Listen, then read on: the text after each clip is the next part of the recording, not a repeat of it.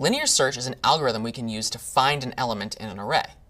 An algorithm, recall, is a step-by-step set of instructions for completing a task. The linear search algorithm works as follows. Iterate across the array from left to right, looking for a specified element. In pseudocode, it's just a more distilled version of this sentence, if the first element is what you're looking for, you can stop. Otherwise, move to the next element and keep going over and over uh, until you find the element or you don't. Uh, so we can use the linear search algorithm, for example, to find the target value 9 in this array. Well, we start at the beginning. If it's what we're looking for, we can stop. It's not. We're not looking for 11. Uh, so otherwise, move to the next element. So we look at 23. Is 23 what we're looking for?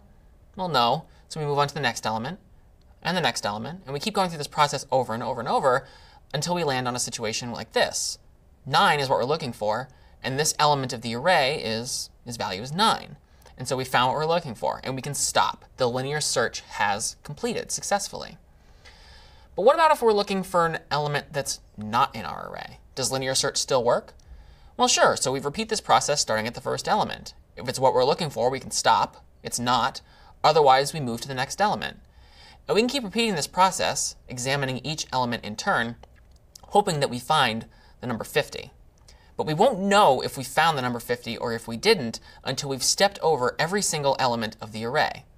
Only once we've done that and come up short can we conclude that 50 is not in the array. And so the linear search algorithm, well, it failed per se, but not in the sense that it was unsuccessful in doing what we asked it to do. It was unsuccessful in as much as it didn't find 50, but 50 wasn't in the array. But we have exhaustively searched through every single element. And so while we didn't find anything, linear search still succeeds even if the uh, element is not in the array. So what's the worst case scenario with linear search? Well, we have to look through every single element, either because the target element is the last element of the array, or the array or the element we're looking for doesn't actually exist in the array at all. What's the best case scenario? Well, we might find the element immediately.